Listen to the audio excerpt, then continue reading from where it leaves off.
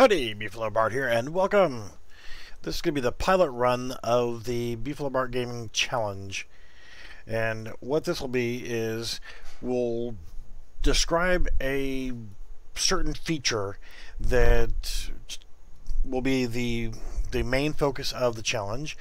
And what you'll have to do is complete the challenge by actually getting the actual function or feature to work correctly and then making a short video showing, hey, this is what it is, this it's working, and try to get your link posted in the Beefalo Bart Gaming Discord channel.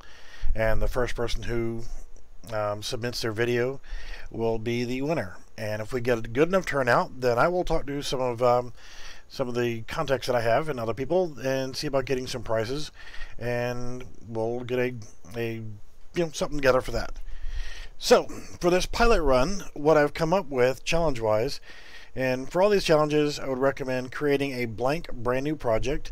In this situation, we're going to use a third-person blueprint or, or example, and that's what I've done here is I've created a blank third-person template project called the Stealth Challenge.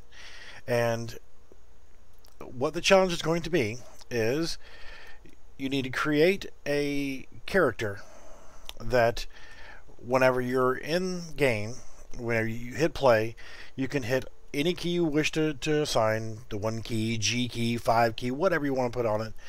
Or, you know, you can set a pressure plate where you step on it, and that'd probably be a, a better way. Set a little pad out.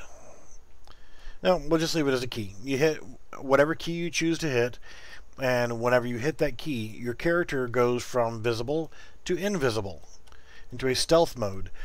But to make it more challenging, you know, that, that would be too easy.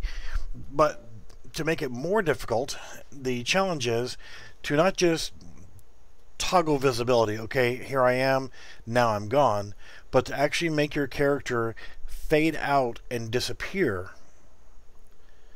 You can still be running around, still have your collision and everything else in, in game, but your character needs to be completely invisible and whenever you hit the key again you're going to toggle it to come back to visibility again and you'll fade back in.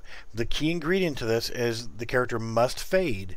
It can't just be an instant transition. It needs to be a series of whatever it takes say two or three seconds we'll say to slowly fade into invisibility. Alright so that's the challenge and I'm going to attempt it as well, even though I'm not eligible to win. But what I'm going to do is give it a good shot, see what I can do, see if I can get the same kind of functionality. And then whenever we get the first submissions, I'll go through, review them, and see if it's as it should be. And the first person to send their link to their video showing, hey, this is it, go in, watch the video, and if that's exactly what it's supposed to be, then you win the challenge. So I would like a minimum of five people to do this challenge. So get started. If you're unclear on the rules, let me know in Discord and I will let you know again. But the whole primary thing is to be able to hit a key on your keyboard or on your controls or whatever you want.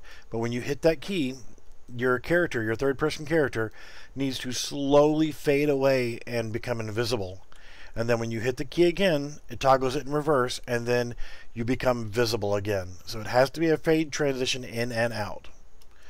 Alright, so good luck, and make sure you go ahead and give this a shot. That'll be interesting.